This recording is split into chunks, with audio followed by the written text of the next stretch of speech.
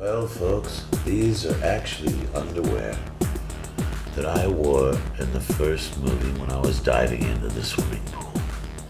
These are the, the actual Dark Knight shorts from the film.